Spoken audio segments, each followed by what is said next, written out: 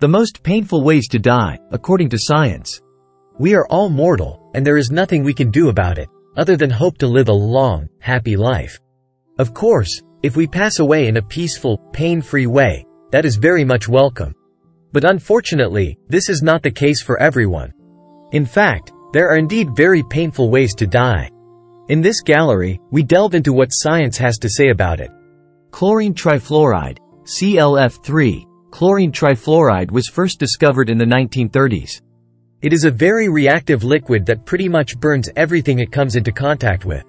Exposure to chlorine trifluoride would be horrific. Scientist Paul Daugherty explains. The chlorine will turn your bones to gelatin.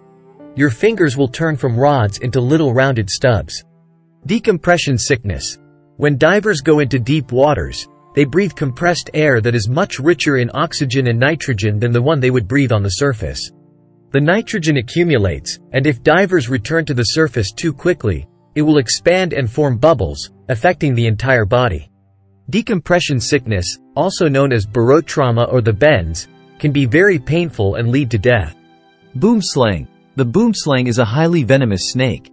A bite from this snake causes severe internal bleeding, uncontrollable shaking, nausea, and high fever.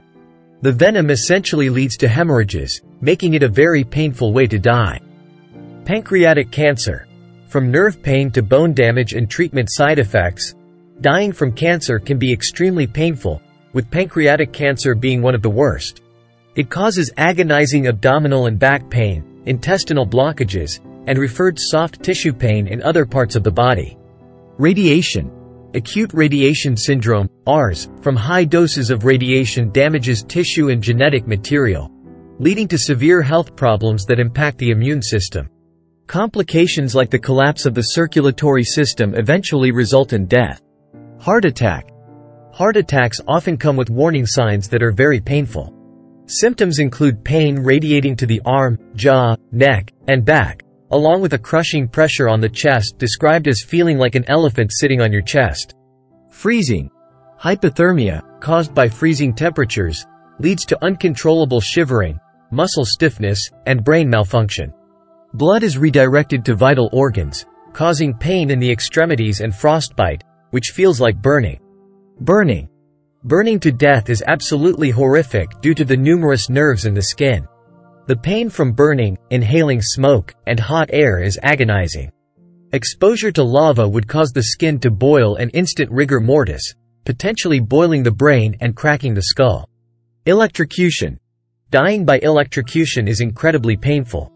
A powerful enough electric charge causes muscles to seize, bones to break, skin to swell, and even eyeballs to pop out of their sockets. The whole process is excruciating. Drowning. Drowning can be quite painful. Panic leads to hyperventilation, but instead of air, water is inhaled, causing a vocal cord spasm known as laryngospasm. Breathing in water causes extreme pain, and even survivors experience lung pain for some time. Lethal injection. Lethal injection is supposed to be less painful compared to other methods, but it can still be excruciating. The drugs used may cause extreme pulmonary edema, and without anesthetics, the pain can last for minutes to hours. Crucifixion. Crucifixion, historically involving nails through the wrists hitting the median nerve, is excruciatingly painful.